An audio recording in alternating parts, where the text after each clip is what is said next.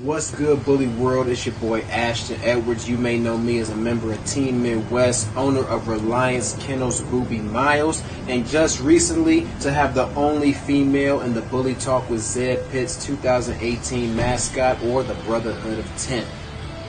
It's building season, baby. Let's get it going. Myself, though, man, I'm 24 years old, uh, born and raised in Gary, Indiana, currently residing in Fort Wayne, Indiana. So I'm a long ways away from the rest of Team Midwest. So if you ever see me hanging out with them, just know I had to make the trek.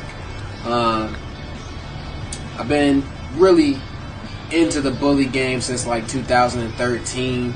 Uh, started off buying a bunch of bullshit males. So uh, if I can give you any advice, just invest in a nice female. Don't try to don't try to beat the, the system spending five hundred dollars on a dog and thinking it's gonna be the next big thing because you're wasting your time.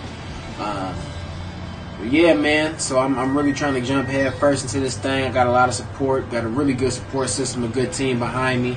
Uh, trying to do everything the right way, and uh, yeah, that's really about it. man, to to have the only female in the Brotherhood of Ten with big name dogs such as Shamrock, Chiraq, Problem Child, Bear, Cyanide, Tyson, Waffle House. I mean, it's it's an honor and, and it's monumental, you know, because a lot of people think that she's a male or they think she's a full grown dog, and she's only 10 and a half months. So to even be in the same conversation with dogs like that, to me, it's a feat within itself. And uh, I, I, got big plans for this girl in the future, man, and y'all just gonna have to stay tuned. You know, I get a lot of people in my inbox, and they have suggestions on who they would take Boobie Miles to, and most of them are really good suggestions. But I already got the blueprint planned out for her.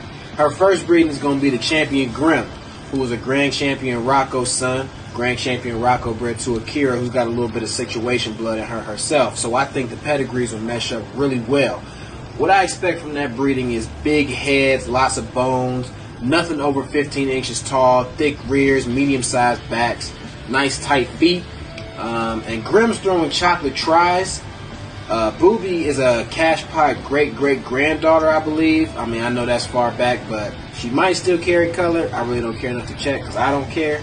But I know some people that's a big thing to them. So we might get some chocolates, we might get some champagnes, but I don't care if we get or black. Uh, her second and third breed, man, I have a lot of stud options, man. I got a lot of connections in the game, and uh, I just know her second breeding is, is, is really set up to be monumental. You know, you never let the left hand know what the right hand is doing.